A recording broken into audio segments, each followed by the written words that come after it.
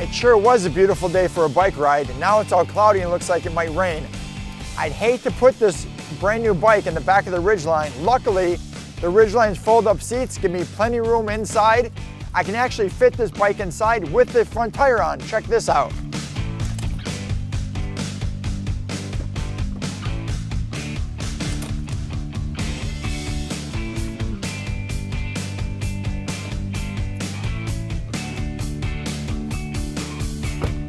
How convenient is that?